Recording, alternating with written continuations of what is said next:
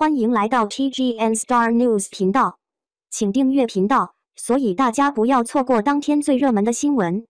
我们今天的时事通讯包括以下内容：王一博主演《长空之王》的消息，这次真的捂不住了。大家都知道，青年演员王一博的事业心是很强的，直言对表演非常有野心。王一博最近两年新作品陆续上映，新戏官宣不断。进入二零二二年，王一博也是一直在剧组闭关，安心拍电影。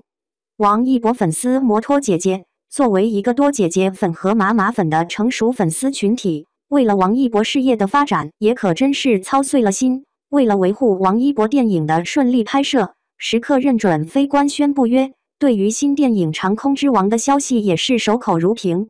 这两天有个好消息，却让粉丝大喊：“怎么办？”王一博主演《长空之王》的消息彻底捂不住了，到底发生了啥呢？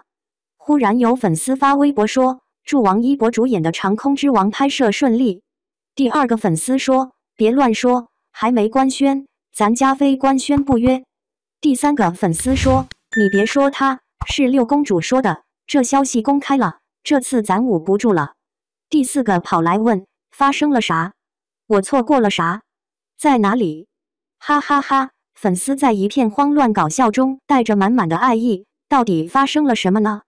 原来是影视剧界权威的六公主播放了一段以王一博转型演员的自我博弈为题的视频短片。视频中讲述了演员王一博的影视剧汇总，并表扬道：“王一博在演员这条路上的进步有目共睹。”王一博从流量明星转型实力演员，一直在自我博弈、突破自我，都不用粉丝说，我们都知道你们的一博哥哥有多努力了。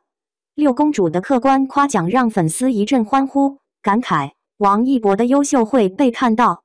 就在这时，有粉丝发现了大秘密：六公主把王一博主演的《长空之王》给官宣了。于是发生了上面的搞笑的对话。摩托姐姐们大呼：“这次捂不住了，咱就大方认领。”不过也是真的为演员王一博开心。王一博粉丝这可不是第一次被六公主吓到。早在无名官宣，六公主直言无名是梁朝伟、王一博两代顶流的银幕同台，万众期待。两代顶流也是让粉丝不敢认领，直呼是六公主说的，我可不敢这么说。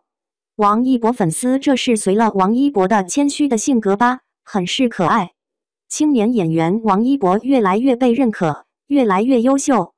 六公主也忍不住称赞王一博和郑剧的适配度好高。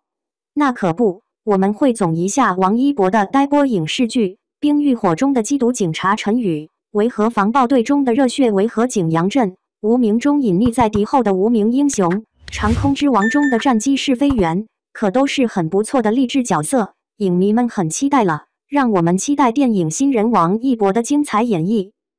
感谢您观看视频，请订阅我们的频道以支持我们。